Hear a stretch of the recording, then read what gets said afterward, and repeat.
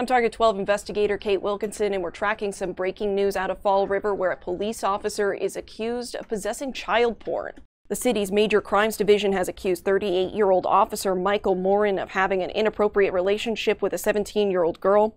Target 12 has confirmed Morin was charged with one count of possession of child pornography and was arraigned Friday morning in Fall River District Court. Court documents show the alleged offense occurred on April 9th. Officer Morin has been on paid leave since the end of May when the police said they found out about the relationship and they accuse him of receiving and possessing inappropriate photographs.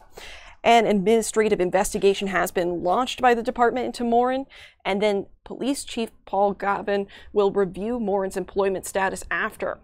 An attorney listed as representing Morin did not immediately respond to Target 12's request for comment.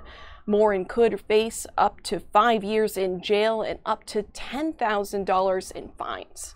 With the Target 12 investigators, Kate Wilkinson, 12 News.